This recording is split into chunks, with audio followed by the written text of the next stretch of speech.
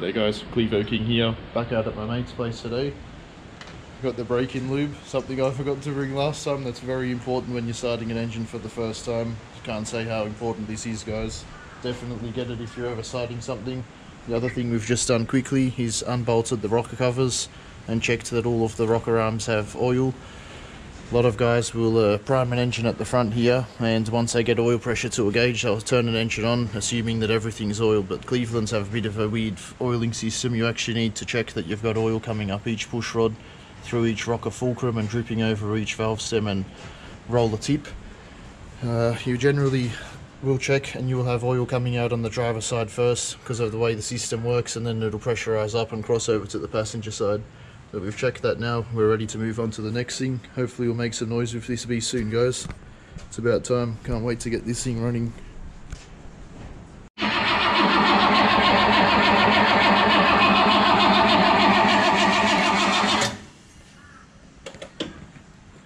What we're doing now is just winding it over and making sure that each push rod's got oil coming up through the fulcrum all the way rolling over the roller tip and onto the valve stem.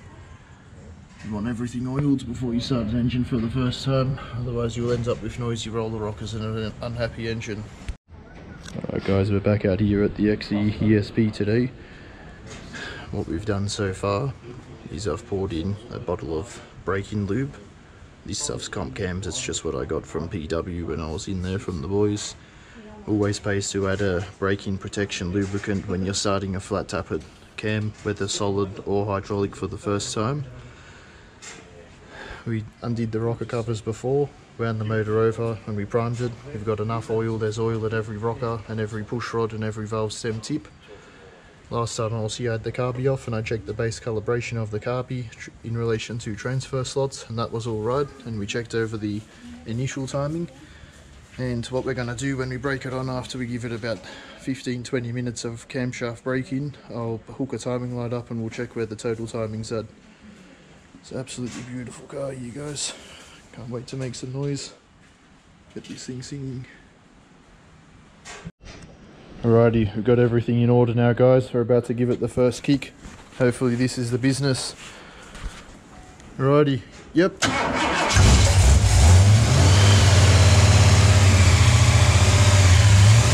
Beautiful fuel, yep, we got fuel. When you're turning an engine on for the first time, you don't want to let it idle. You've got to get the revs up a little bit between two and two and a half thousand. So we can just wear the cam in with a nice even pattern. 45? 20. beautiful. Now that's just paint burning off the engine. Always happens when you're starting something for the first time.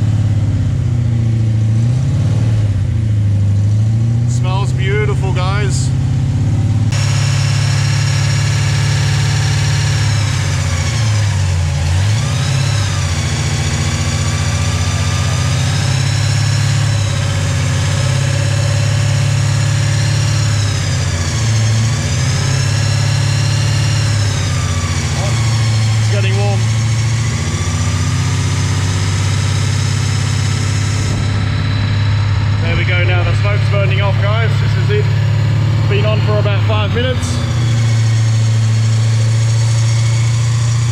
Music to my ears, guys. I absolutely love being involved in something like this. Not every day you get to be at a $15,000 engine sighting for the first time.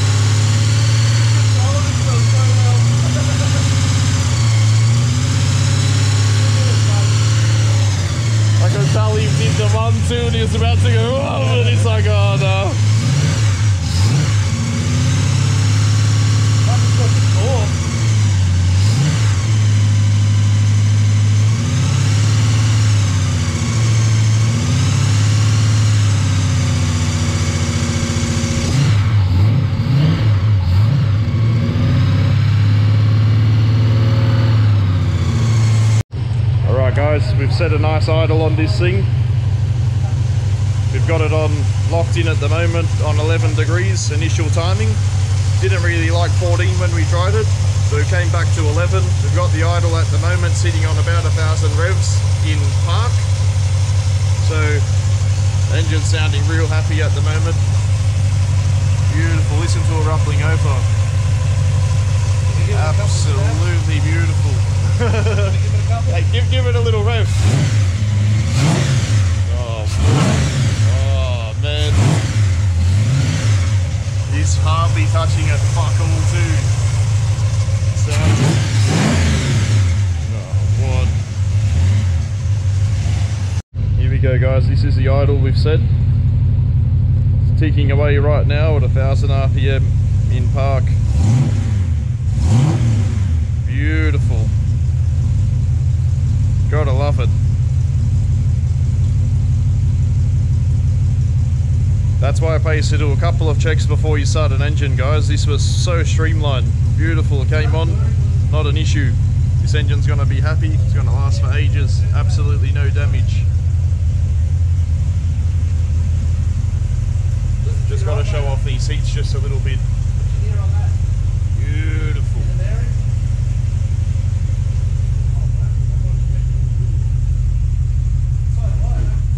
We've got the over here, oil pressure's on about 80 pounds, which is perfect, sitting on 80 degrees.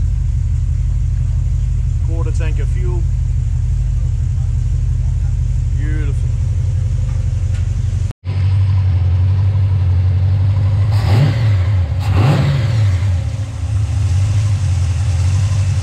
How's that for a little rev? Beautiful.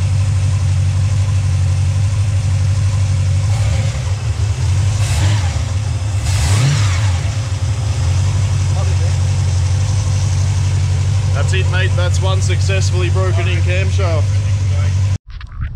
Guys, Clevo here. We had a pretty good day today. Got the XE ESP started running.